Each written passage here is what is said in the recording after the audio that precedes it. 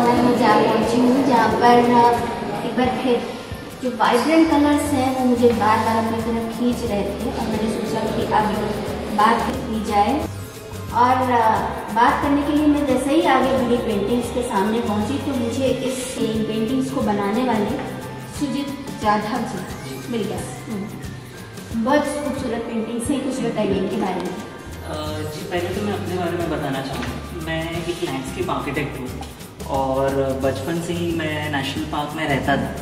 तो अच्छा, मेरे बोरेवली तो मेरे दिलो दिमाग में हमेशा नेचर ही रहा है। And hmm. मैंने प्रोफेशन भी वही चूज़ किया है लैंडस्केप आर्किटेक्चर का।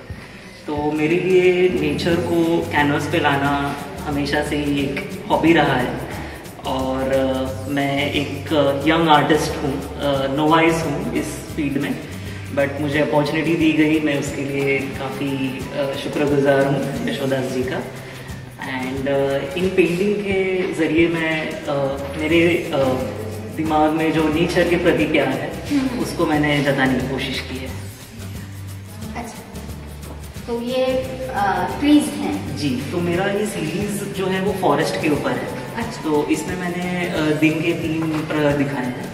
सो so, जैसे ये पेंटिंग आप देख सकते हैं ये सुबह का टाइम जताता है सो हम्म। so, ये जो बर्ड्स उड़ रहे हैं या फिर ये जो फॉरेस्ट सीन है वो जता रहा है कि अर्ली मॉर्निंग जो होता है उसमें कैसे नेचर के अंदर स्काई में चेंजेस होते हैं बर्ड्स हम्म। जो होते हैं वो एक्टिव हो जाते हैं पेड़ पौधे चहकने लगते हैं ये जो पेंटिंग है ये आफ्टरनून डिपेक्ट कर रहा है तो यहाँ पे आप देख सकते हैं कि सन जो है वो पूरा ब्राइट हो चुका है और पूरा लैंडस्केप उसके चारों तरफ़ चमक रहा है।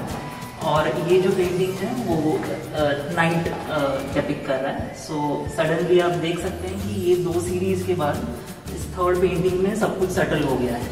सो हम्म। so, इसमें आप देख सकते हैं सेंटर में मून है और कैसे उस चाँद की रोशनी में लैंडस्केप चमक रहा है। बहुत खूबसूरत।